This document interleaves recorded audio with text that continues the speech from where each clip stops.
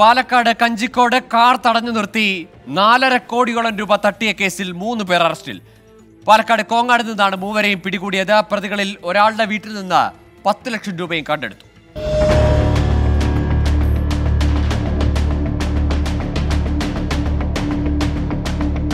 ഇക്കഴിഞ്ഞ ശനിയാഴ്ച പുലർച്ചെയാണ് കഞ്ചിക്കോട് ദേശീയപാതയിൽ വെച്ച് പെരിന്തൽമണ്ണ സ്വദേശികളുടെ കാർ തടഞ്ഞു നിർത്തി നാലര കോടിയോളം രൂപ കൊള്ളയടിച്ചത്.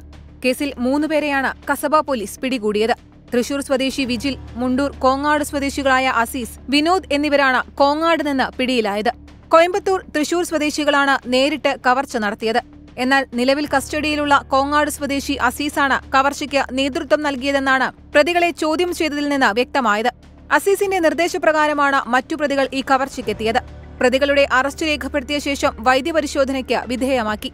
കൃത്യത്തിനായി പ്രതികളെ ഉപയോഗിച്ച ലോറിയും പോലീസ് കണ്ടെടുത്തു. കൊള്ളയടിച്ച പണം തൃശൂർ സ്വദേശിയായ ഒരു പ്രതിയുടെ വീട്ടിൽ സൂക്ഷിച്ചിരുന്നു.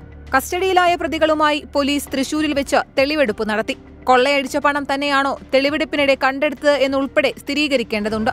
ചിറ്റൂർ പാലക്കാട് ഡിവൈഎസ്പിമാരുടെ നേതൃത്വത്തിലാണ് കേസ് അന്വേഷിക്കുന്നത്. കേസിൽ പരാതിക്കാരുടെ സാമ്പത്തിക പശ്ചാത്തലവും പോലീസ് അന്വേഷണ വിധേയമാക്കുന്നുണ്ട്. ട്വന്റി പാലക്കാട്.